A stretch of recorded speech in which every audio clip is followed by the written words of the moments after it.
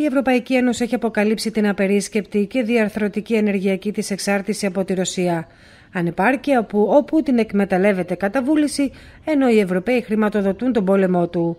Υπάρχουν ήδη περισσότερα από 20 δισεκατομμύρια ευρώ που έχει τσεπώσει ο Πούτιν από την εισβολή στην Ουκρανία.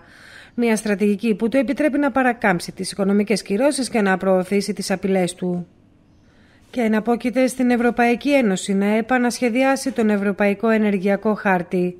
Σύμφωνα με το Atalayer, ένας άλλος αγωγός φυσικού αερίου, ο EastMed, που υποτίθεται ότι θα συνέδε τα κοιτάσματα φυσικού αερίου στην ανοιχτή θάλασσα μπροστά από το Ισραήλ και την Κύπρο με την Ελλάδα και την Ευρώπη, επιστρέφει στο τραπέζι των διαπραγματεύσεων. Με τη σειρά τους, το Ισραήλ και η Αίγυπτος είχαν ήδη συμφωνήσει το 2019 να κατασκευάσουν έναν αγωγό θαλάσσιου φυσικού αερίου από το κοίτασμα φυσικού αερίου Λεβιάθαν σε εγκαταστάσεις υγροποίησης στην Αίγυπτο με σκοπό την αύξηση των εξαγωγών στην Ευρώπη. Η άρση της στήριξης των ΗΠΑ προς τον East είχε διαφανεί νωρίτερα λόγω της ενεργειακής όσμωσης Αιγύπτου, Ιορδανίας, Λιβάνου και Αιγύπτου-Ισραήλ, την οποία πατρονάρουν οι ΗΠΑ.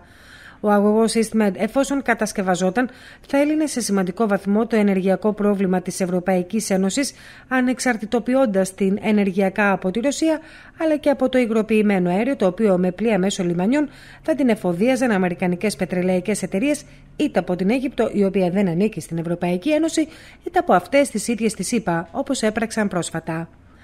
Οι ΙΠΑ δεν θέλουν όπως και η Ρωσία μια ανεξάρτητη ενεργειακά Ευρωπαϊκή Ένωση και αυτός είναι ο βασικότερος ίσως λόγος απόσυρσης της στήριξής τους στον EastMed.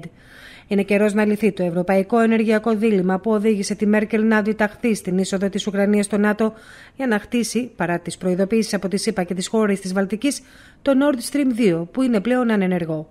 Στο μεταξύ, εντύπωση προκαλεί ο Ισραηλινός ειδικός Χάι Αϊτάν Γιαναρόκακ, δηλώνοντας ότι όλοι γνωρίζουν ότι το έργο EastMed δεν μπορεί να πραγματοποιηθεί χωρίς τη συνεργασία της Τουρκίας.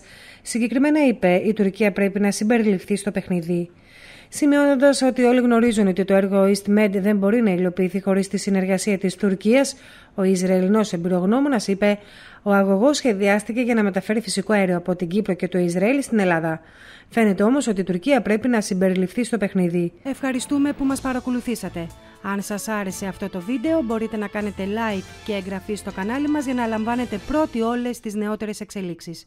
Μην ξεχνάτε να μας κάνετε σχόλια με την άποψή σας, καθώς η γνώμη σας είναι πολύ σημαντική για εμάς.